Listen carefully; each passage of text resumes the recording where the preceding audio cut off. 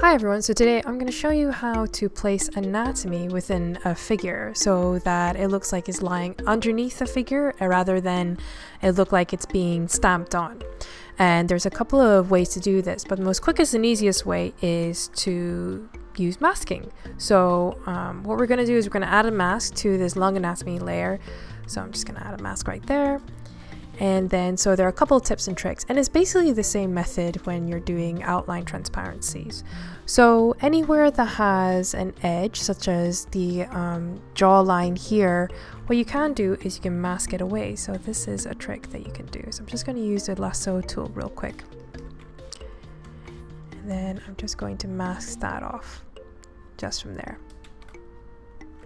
and I can even paint in with a soft brush here. I'm just to hide my marching ants, just go down a little bit.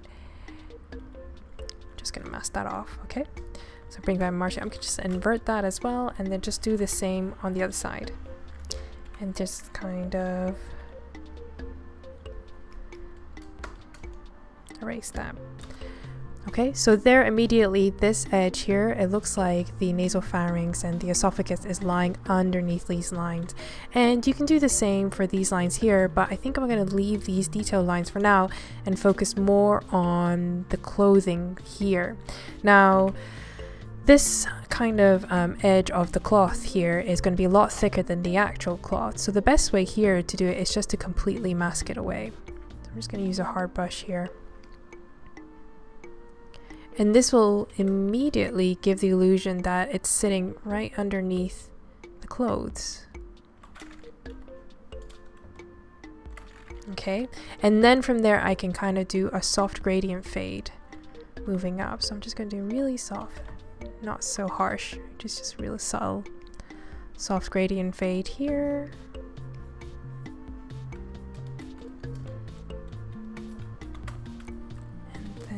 Going to do another soft gradient fade underneath it.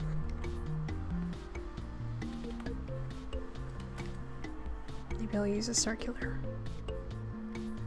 circular one right here. Okay, so there already is starting to sit behind the clothing and everything here.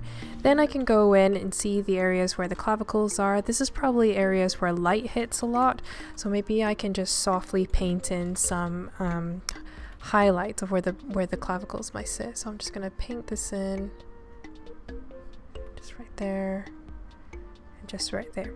For because this is such a simple illustration, just like really subtle things like that will help. And it's the same here. I'm just gonna kind of like softly paint this in.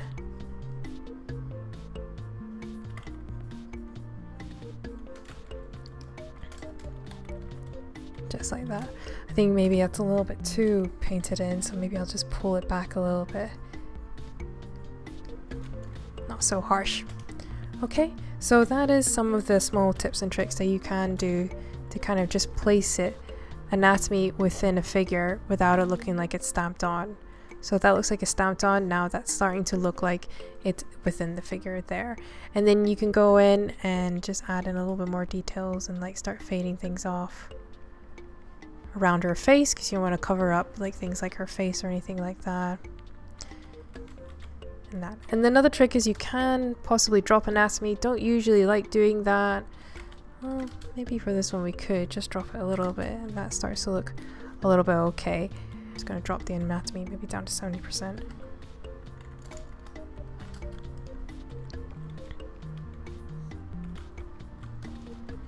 Okay, for black and white line illustrations, I think you can maybe get away with dropping the anatomy just a little bit. When it comes to colorized illustrations, there's another method for that, so please feel free to reach out and we'll do another tutorial on that. Thanks so much, bye!